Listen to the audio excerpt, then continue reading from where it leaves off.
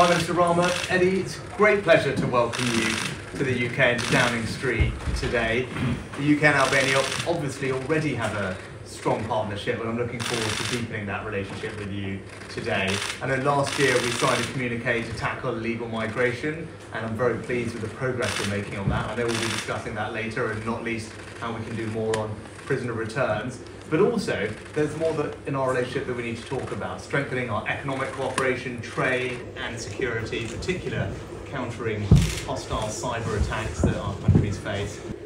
We are joining forces with full conviction that we have to make the utmost to crack down the criminal networks and also to uh, avoid for innocent people to get into the hook of these networks. And at the same time, I thank you because it's an opportunity to underline that as uh, uh, just as all Britons are not uh, James Bond or Mr. Bean, not all Albanians are some characters out of Taken.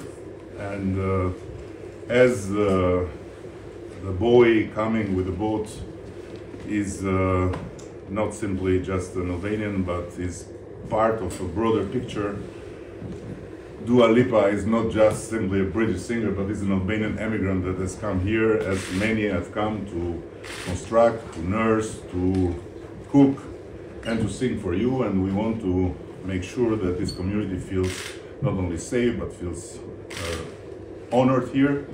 And the rotten apples are our common objective to be, uh, to be uh, gone after and to win this battle. And as you said, in terms of security, we have all our interests to strengthen our cooperation. And I have to say that it's after a long time that I'm feeling really a very, very serious commitment, not just in words, but also in deeds on your side. And I look forward to do the best together with you. And thank you again.